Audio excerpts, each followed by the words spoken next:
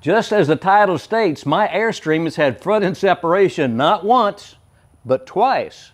First time fixed at Jackson Center, and now, after waiting a little over a year to get in over at Foley RV Center in Gulfport, I'm heading out today to get it fixed again and hopefully the last time. Stick around.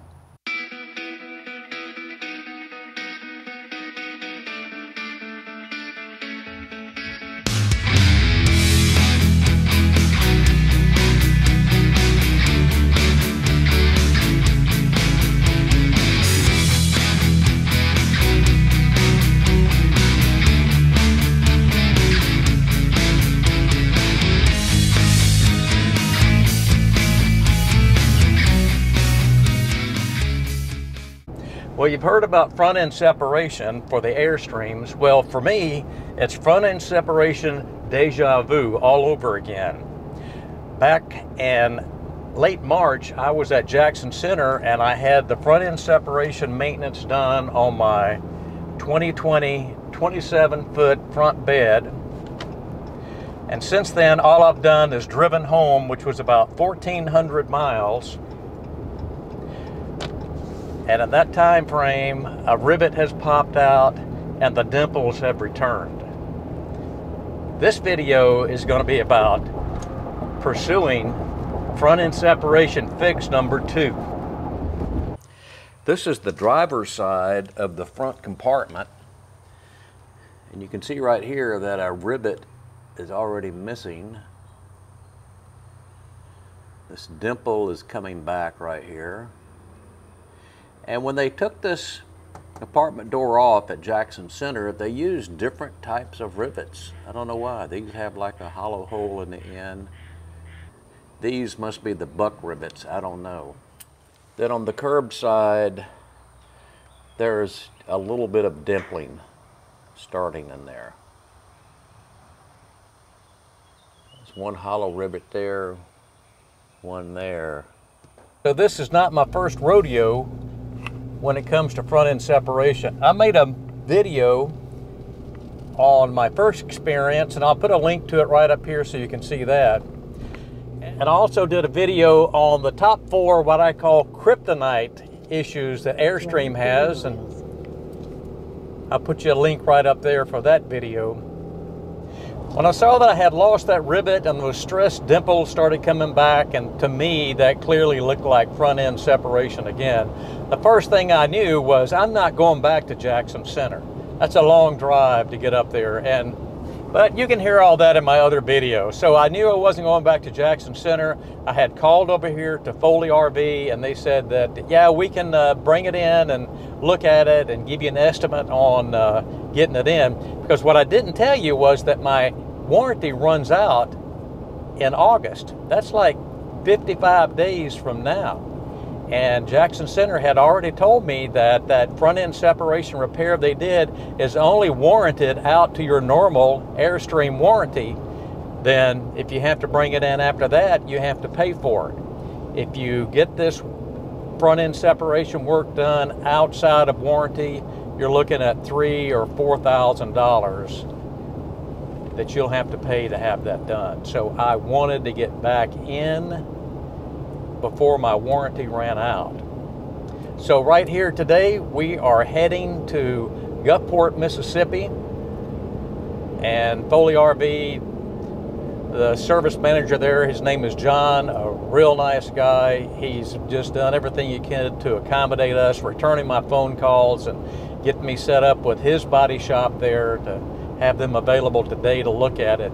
So they're going to look at it and we're either going to leave the trailer there for them to work on. I know they're backlogged as well. Or we may just take it back home and bring it back when they're ready to work on it. But at any rate, I want to get it documented. I want to get it on the books. I want to make sure that it's going to be covered by warranty. Foley RV, which is an Airstream dealer in southern Mississippi, uses the Chevrolet dealer to do their body work. Now, I was a little bit hesitant of doing this, but I learned that it's the same owner. The Chevrolet dealer also owns the next door Airstream dealership.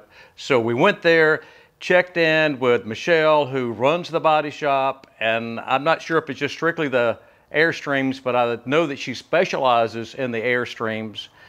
We talked to her and we got some good news, we got some great news, and then we ended up living with reality. Before I give you the good news, stick around to the end of the video. I've got lessons learned. I want to share with you many of those, some that will help you down the road, probably.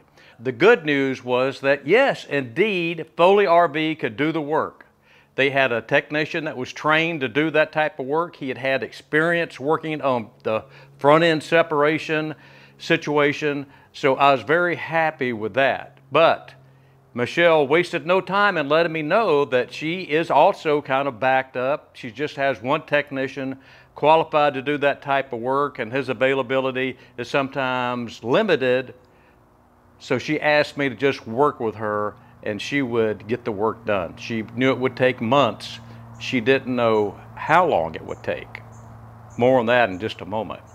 Now, a couple of days later, I got a text from Michelle. She was working with Jackson Center to get my front end separation covered under warranty. I just, at that point, had about 55 days, I think it was, but she wasn't going to get the work done in 55 days. It was going to take much longer than that to get me scheduled and get me in the shop. So Jackson Center agreed to cover the work under warranty regardless of how long it took Michelle to get me into Foley RV Center to get that work done. So that's great news. That could save me, I said earlier three or 4,000, but it could be five or 6,000, just really depending on the situation. Long story short, it took months. It took almost a year to get me in there, but Michelle kept touching base with me, letting me know, you know, she hadn't forgot about me and she was going to get me in there to get that work done. So we went and dropped it off and the work began two days later. Dropped it off on a Friday. They started like on Monday or Tuesday working on that. I'd sent her a text and asked her to take me some photographs along the way. I would have loved to have been there to take some video, but I didn't have that opportunity. So on a couple of occasions, she, she did send me photographs of what was going on. Once when they just opened it up and showed me what was there, and then later when they really opened it up and showed me how they were progressing and getting into fixing the issue. Now, what I don't understand is that it almost appears like when they opened up the front end there, those angle or those L brackets were in place. Now, I had heard from other owners that sometimes Jackson Center would put those L brackets in there, but take a shortcut and not uh, secure them down the way they should. And I think that's what happened in my case because they didn't remove that entire front panel. Now, Foley RV did remove that front panel. I'm going to talk about that more towards the end. But they apparently did secure those brackets the way they were. They replaced that front panel. They went back in and replaced the whole framing for that front end storage and got that back in place. Caulked and sealed everything around there. And then when all of that was done, my Airstream was sent back over to the regular service center where they did a pressure test to check for leaks. I had already asked Foley RV that I wanted to have an inspection for my roof. So they did this pressure test to ensure that the integrity of their work was good and also for the rest of the unit. And they did find five or six leaks that uh, were there from the pressure test. So I'm very happy about that. So the reality of this is that it took almost a year from the time I first contacted the service facility to when they actually got my unit in there and got it repaired. It was all covered under warranty. That right there is the issue that I was worried about and wanted to make sure it was in there. So if you're sitting on the fence right now and you suspect you have front end separation, don't hesitate. Get it checked out, especially if you're coming up on the end of your warranty on your unit because once you go past that warranty, you're going to be paying for that out of your own pocket. Now, I've only put about 300 or so miles on my unit after the repair and it looks perfect. You know, there's nothing there. It just looks the way it should look. So I'm very happy with that. So here's the invoice for the repair at the body shop for the front end separation. Let me just read some of the parts list here that was involved with that. It is a left hand brace, a right hand brace, various washers, screws, uh, tapping screws, more washers, nylon nuts, and then a 80 foot sheet dot 40 times 51 times 30780. So I think that's one sheet of aluminum that they use to go back in and replace this front panel here. So the repair is all done. The lessons learned are many, but I'm going to share just a few with you without getting too long-winded here. But about Jackson Center, between me and you, I wasn't that impressed with Jackson Center on handling this front end separation. And the reason being is that they only had one technician in the service center that was doing the front end separation. They said that they had one other technician, but he was off site doing something down in Tennessee or North Carolina, something like that. And they were backed up, clearly. I had a reservation months in advance, but when I got there, they said, yeah, we're backed up. What they did with my unit is they sent it down the street to the body shop for Airstream. It's not even the regular service center, it's down the street. And I had already been told it's like a 12 hour job to do this.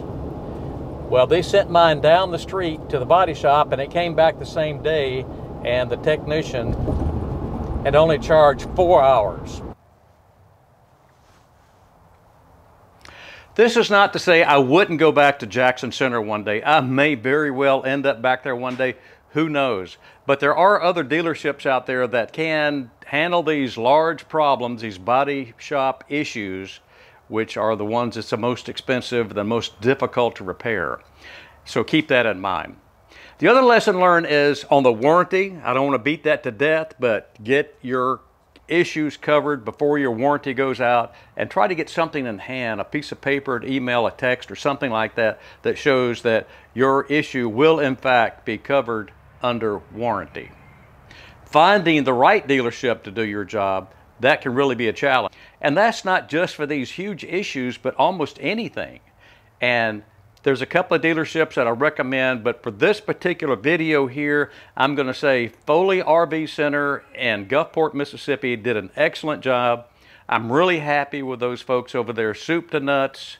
The body shop was excellent. The service center was excellent.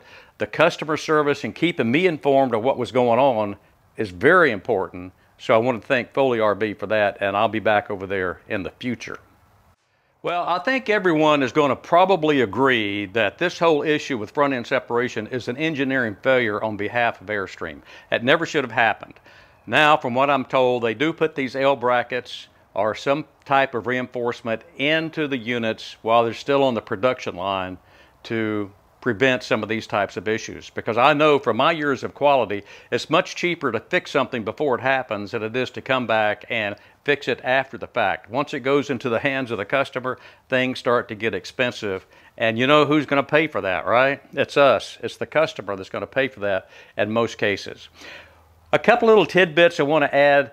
What did this cost me to get this repaired? Well, I did the trip to Jackson Center which is Florida to Jackson Center and back. That's the only reason I went up there was for that. So that's one expense. I made like six trips from Florida over to Foley RV Center in Mississippi. That's expensive, back and forth, buying the high price diesel that's out there today.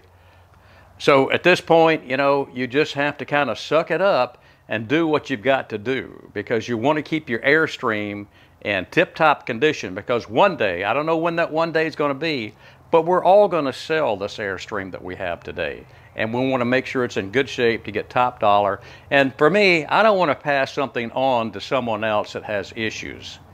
I just would not feel good about selling my Airstream knowing that it had a front end separation issue that is not repaired. So that's one thing. Other thing I'd like to share is I used an AirTag in my Airstream while it was in maintenance. I could see where it would move in and out of maintenance, and when they finished with it at the body shop, I could see where it moved from the body shop back over to general maintenance. And I really like that. You know, you don't want to have to call over, ask the service manager every two or three days, where's it at? What are you doing to it? Well, I didn't know what they were doing to it, but at least I knew where it was. So I like the air tags, and we've used those a lot in luggage and vehicles, and we haven't put them on the dogs yet, but who knows? Maybe that's going to happen. Well, to wrap up, I've had many, many requests for this video here. The people that saw my first video on Airstream, front end separation, wanted to know how it went the second time. So for all of you folks out there, I hope this answers your questions. If it doesn't, Leave me some questions and comments down below and I'll be glad to get back with you. If you learned something or enjoyed this video in any way, give it a thumbs up. Maybe you want to subscribe. There might be more stuff coming down the line, but it's not going to be front end separation. I'm pretty sure and confident that my problem is now fixed. I'll be making no more videos on front end separation. Till next time, I hope to see you down the road.